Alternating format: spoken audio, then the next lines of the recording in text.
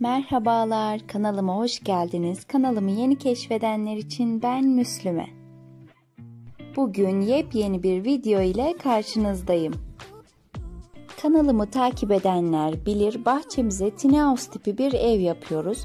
Şimdiye kadar neler yaptık tüm aşamalarıyla kanalımda paylaştım. Bugünkü videomuzda da evimizin tabanına parke döşeyeceğiz. Parkemizi nasıl döşeyeceğiz? Bütün ayrıntılarıyla, dikkat edilmesi gereken bütün özellikleriyle sizlere anlatacağım. Evin şu anki görüntüsü bu şekilde. Şu ana kadar neler yaptığımızı merak edenler için diğer videolarımı açıklama kısmına bırakacağım bakabilirsiniz.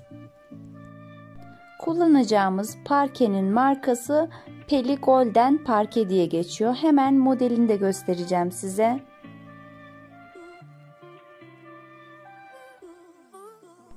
İlk olarak ısı izolasyonunu sağlamak amacıyla strafor seriyoruz.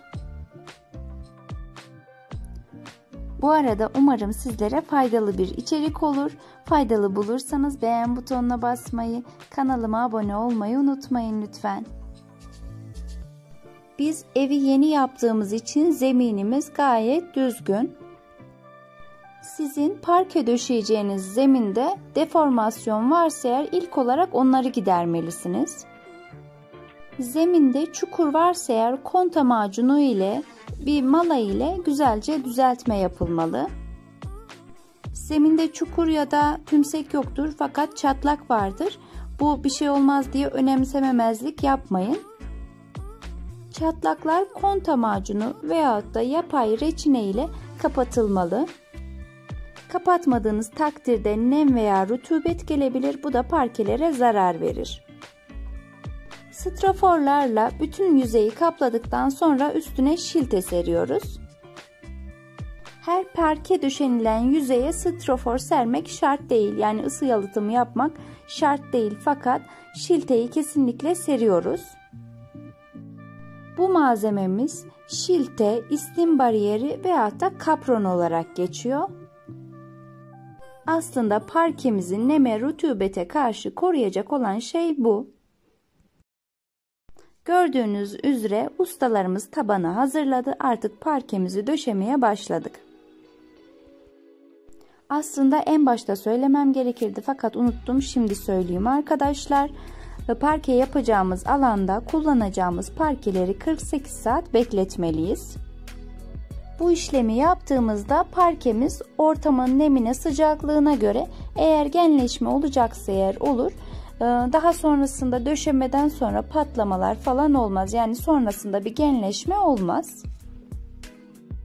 Yine de parkelerde genleşme olabilir diye bütün ustaların yaptığı bir şeydir bu arkadaşlar. Bütün kenarlardan yaklaşık 7 ila 10 milim yani 1 santime yakın boşluk bırakılır. Parke döşemeye her zaman en uzun köşeden başlanır. Gördüğünüz üzere bizim odamızda dikdörtgen şeklinde ve ustamız uzun taraftan parkemizi döşemeye başladı. Eğer kısa taraftan döşemeye başlanırsa şu an görmüş olduğunuz kesme işlemini çok daha fazla yapması gerekecektir. Bu da işlemi uzatır. Parke döşemek o kadar zor bir iş değil arkadaşlar. Birkaç siteye baktım. Yurt dışında falan bu tamamen kadınların mesleği olarak geçiyor. Çünkü ağır bir iş değil. Parkelerin bir tarafına erkek, diğer tarafına dişi deniyor. İç içe geçmesi sağlanıyor. Ardından da tokoz vurularak da sabitleniyor. Kendi evinin parkesini döşeyecekler için küçük bir bilgi vereyim arkadaşlar. Burada çekiç falan kullanmayın. Parkelerin kenarını bozarsınız. Laminant parke takozu diye geçer. O şekilde alıp kullanabilirsiniz. Parkemizin döşemesini yaparken dikkat etmemiz gerekenlerden bir tanesi de parkelerin bitiş noktalarının yani görselde gördüğünüz çizgilerin üst üste gelmemesi gerekir. Diğer türlü sağlam olmaz arkadaşlar. Yani döşemiş olduğunuz parkenin bitiş noktası bir sonraki parkenin orta noktasında bir yere gelmeli.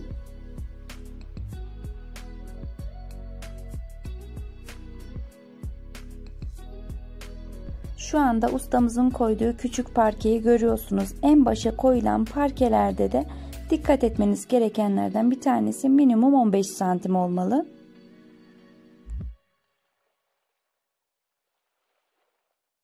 Bütün yüzeyin parkesini çaktıktan sonra artık kenar çıtalarımızı sabitlemeye başlıyoruz. Şu anda ustamız parkenin kenarına sokmuş olduğu tahta parçasını çıkartıyor. Böylelikle parkenin kenarında 1 santimlik bir açıklık bırakmış oluyoruz. Bu da parkenin genleşme ihtimaline karşı parkemizi koruyacak bir işlem. Çıtalarımızı tam duvar kenarına gelecek şekilde yerleştiriyoruz. Elindeki tabancayla ince çiviler atıyor. Evinizdeki köşe çıtalarına çok yakından bakarsanız bu çivileri görebilirsiniz. Diğer türlü fark edilmeyecek kadar ince.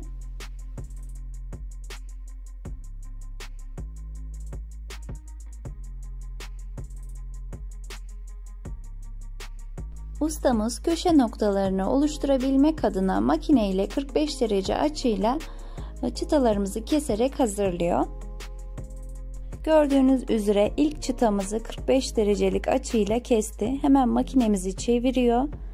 Tam karşı noktasına gelecek çıtayı da aynı şekilde kesip hazırlıyor. Böylelikle tam köşeleri çok daha düzgün ve muntazam oluyor. Herkesin elinde bu makine olmayabilir. Bunun için de bir köşe aparatı üretilmiş. Sizler de kendiniz yapıyorsanız eğer bu aparatla çok rahatlıkla işinizi halledebilirsiniz. Şimdi artık sonucu sizlerle paylaşmak istiyorum.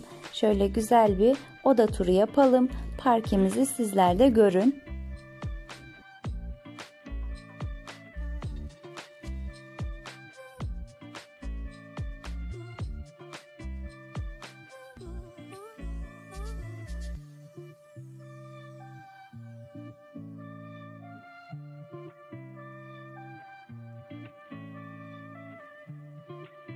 Ben işçiliği çok beğendim. Ustamızın ellerine sağlık. Umarım sizlere faydalı bir video olmuştur. Faydalı bulduysanız beğen butonuna basmayı, ayrıyeten kanalıma abone olmayı unutmayın.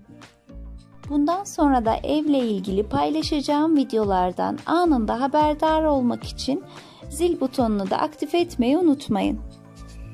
Kendinize çok çok dikkat edin. Sağlıcakla kalın. Hoşçakalın.